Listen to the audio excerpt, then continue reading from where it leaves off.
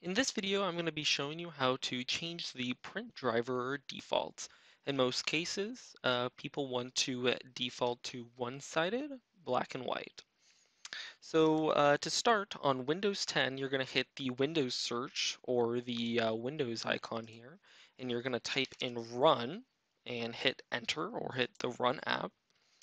And uh, then you're going to type in control printers and hit OK.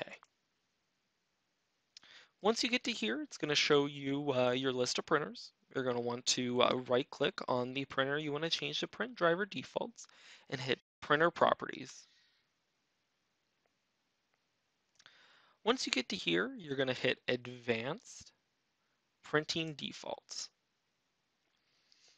And this is where you're going to change the settings to what you want as the default.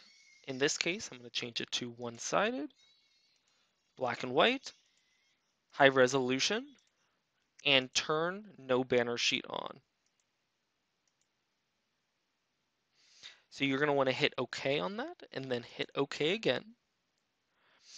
Once you get back to the home screen or uh, the control panel, you're going to right click, hit printer properties, hit preferences, and just double check they're all correct.